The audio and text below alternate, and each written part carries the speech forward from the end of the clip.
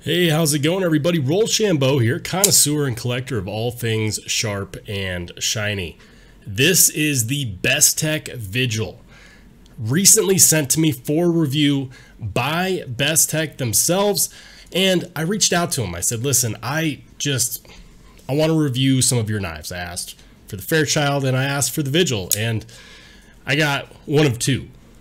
They did send another knife along for me to review as well uh, that one will be in another video. But this vigil is so dang cool. It caught my eye. I asked for it. They sent it to me. I decided, you know what? Special occasion. Bestech responded to my messages. Let's uh let's start the review off a bit of a change of scenery. Follow along. So here I am at the park. I decided it was time to get out of the office and do a quick first impressions of this guy. This is the Bestech Vigil, designed by Kombou. Full titanium, insane milling right here on the backspacer, the handle scales, as well as the pocket clip. Quite honestly, it's just amazing what we're capable of doing these days.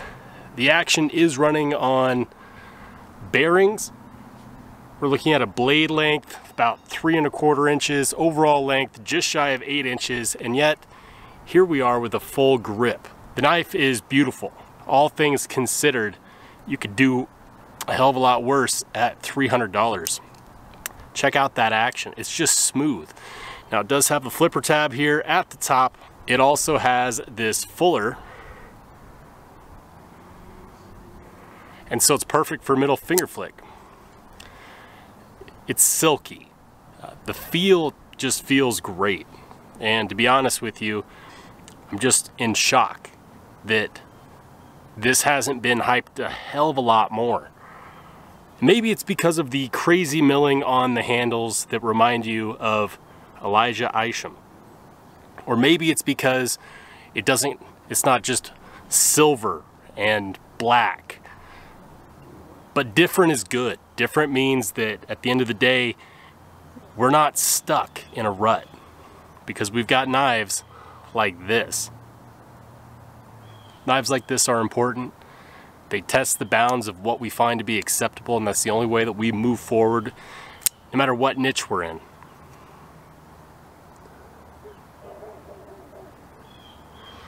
I'm going to go ahead and take it back to the office so I can give you some good hard specs on this thing weigh it, measure it, and then we'll get on with the rest of the video. All right, and we're back. It was a fun little road trip out to the park. With this guy, this, of course, is the Bestech Vigil designed by Kombou. And I took some cool photos while I was out there. I'll go ahead and smudge those on the screen for you in case you're interested. And also, just so you know, those photos will be on my Instagram as well, which I will make sure to put up in the top of the screen. It's rollshambo underscore EDC. Make sure to follow me on Instagram. As I was mentioning at the park, just so much design language going on here. I'm a huge fan of this backspacer and the detail work on that backspacer. The extra etching, the extra lines, continuously going down to the back of the blade, excuse me, to the back of the handle scales, matching hardware, and of course the single-sided pivot. Now, it wouldn't be fair for me to call this a review since I haven't really had this for very long.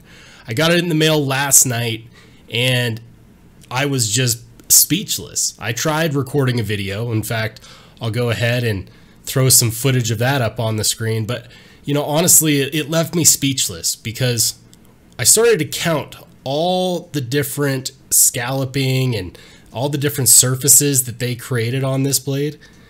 And I'm going to see if I can't really, really start to count them. Um, let's go on this side. There's one, two, three. If you look behind the pocket clip, there's another extra space. So that's four, five, six, seven, eight, nine, 10, 11, 12, 13. And that's just on one side. And that's just the ones that I'm counting. Not to count, not to mention that pocket clip. Look at how wild this pocket clip is. That's absolutely stunning. And you know, like, there's no way that I can handle this knife and not think about one Elijah Isham. Rest in peace to one of the craziest, coolest knife designers of our time. This would have been right up his alley. This all, of course, is titanium. Uh, what I'm assuming is a steel lock bar insert. See the screw there. M390 blade. And this blade shape is what you would consider to be, I, I guess the closest thing I could call it would be a drop point, even though technically a drop point slopes to the tip. But yeah, it's not exactly a drop point because that's a flat spine. Speaking of the spine, look at how thick that stays all the way up until the tip. That's pretty dang thick. Now it does have some relief here at the top in the in the format of a swedge, I guess you could call it. Another angle, another surface. Uh, it does have a almost full length fuller, which as you can see is absolutely phenomenal for the Spidey flick that action is smooth. You would expect that from Bestech, especially given that this is riding on bearings. Oops. Now, something that Bestech has gotten blasted for recently is not necessarily having the strongest detents. And on this one, I'm actually okay with that because it lends to how smooth this knife is. You know, you can you can light switch it, and I'm pretty sure that if I just do this, yep, you can push button it as well. Now that blade is nicely polished, okay? So what that means is, is that it is a fingerprint magnet. When you do middle finger flick it, it's so beautiful that I just want to keep it clean. Not a ton of billboarding here. You get the designer's mark, says Kombou. And then you also get M390 and then Bestech on the other side. Whenever you see this pivot style on the new Bestech knives, that indicates that it's one of their premium models. And this one definitely looks and feels premium. Now, a concern that a lot of people might have is, you know, with all this different chamfering and, and angles on the handle scale, you know, is there any hot spots? Absolutely not. The fit and finish is really, really good. And this backspacer right here that curves up actually fits well in the palm of the hand. It pushes itself against the palm of your hand and creates a nice angle. If they had just matched this backspacer to go up like that, it probably would have a hot spot, but it didn't. Now I know that they say that you can use this space right here for a lanyard, but if you get this knife, please don't put a lanyard on it. I mean, seriously, this knife does not need any more sprucing it up. It, it is about as pretty as it can get. And I really, really enjoy this design. You get the jimping here at the top. That seems pretty standard on most knives these days. And even that is well knocked down. What's impressive to me is, let's see if I can get up there nice and close. see if we can't get it to focus. There are this almost orange peel like striations that are ever so fine. And some people might say, oh, well, that's just, uh, you know, that's remnants of the, the grind lines. But they look purposeful because those tiny, tiny, tiny little grind lines, which is almost like an orange peel, actually keep the handle scales from being too slippery. And it reduces the amount of fingerprints that will show up on it. It creates a nice matte finish. This looks and feels like pocket jewelry, but given how thick it is behind the spine here and how robust you get, even almost all the way down to that tip, which is supposed to be a good piercing tip, um, it makes me think that that this is this is more than that. This is futuristic. This is Alien versus Predator. And I'm a huge, huge fan of the, this design language because getting all these different angles and not having a single hotspot wow, that's impressive to me. And I'm not just saying that. I, I, am truly impressed. It's one thing to put all these different surfaces and all these different angles on a knife, but to actually be able to knock down each and every single edge so it feels finished, that's just insane. The amount of work that goes into this is why I'm sure it costs around $300. Now, I did promise that I was going to actually measure out the specs, so let's go ahead and do that real quick. It comes in just just shy of eight inches, maybe maybe just there. And then of course, if we were to weigh this bad boy,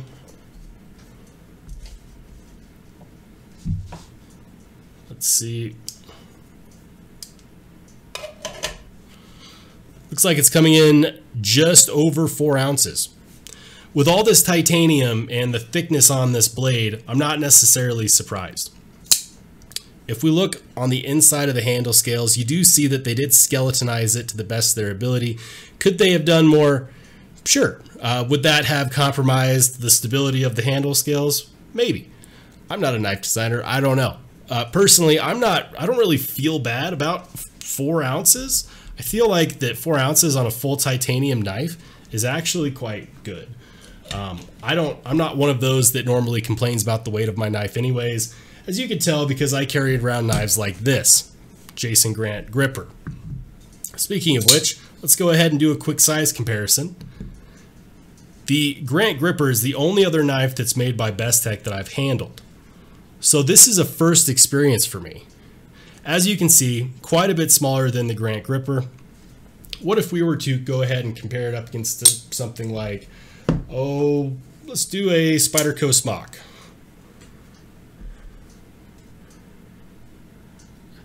much closer in an overall length to the Smock.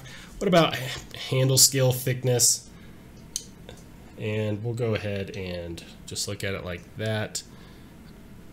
I mean, it's going to be pretty close to the thickness of the Spyderco Smock. It might actually be a little tiny bit bigger, but that's okay. If you've watched my videos, you know I actually prefer a nice thick handle scale because it actually creates for great ergonomics in the hand. Now, this tip being a what I would probably call actually a straight tip or a straight point is going to be really good for being able to control that. Um, they mentioned in the description when I looked this up that this could be a knife that could be used for self-defense. Now, I don't know about that because I don't know about you. I don't typically get in situations every day, every month, every year where I need a knife for self defense. I'm going to be using this to open my Amazon boxes. You know, I'm going to be, you know, fidgeting with this at my desk at work. I, you know, I'm going to be adding it to my collection. It's going to have some pocket time. So the things that matter are the fit and finish. How does it feel in the hand? You know, is this a real choil? Absolutely. You can get a nice and you can get nice and tight up on that blade. There's no jimping on this choil, but it is definitely big enough for, for size large gloved fingers to fit. And it feels naturally at home there.